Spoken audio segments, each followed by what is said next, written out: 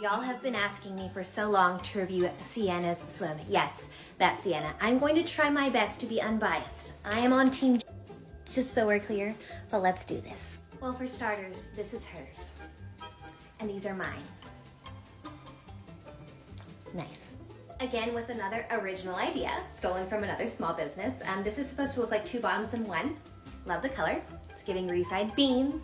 I'll add the actual brand that came up with this idea here. I went ahead and grabbed the 93 Play Street bottom with the least amount of chicky nuggy coverage to compare it to the chicky nuggy coverage, just for reference of how covered we are going to be. About to try on this one piece and just wanted to share another chicky nuggy for you. Now for the avocado number, the fabric, it feels pretty good. Pretty smooth, comfy. Very confused how this fit is flattering. Okay, I went back to look at this. This fabric is denser from the first launch and this is thinner from the second launch. Very